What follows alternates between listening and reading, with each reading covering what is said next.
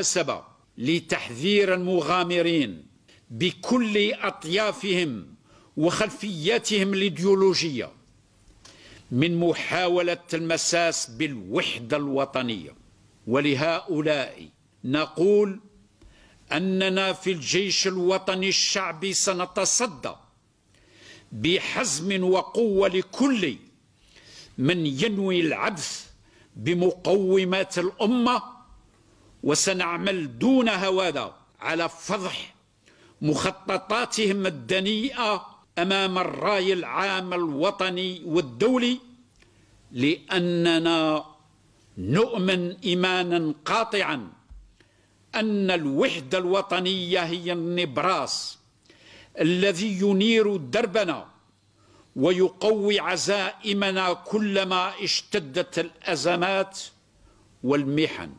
ولأنها كذلك الضمانة الأكيدة لبناء جزائر جديدة قوية موحدة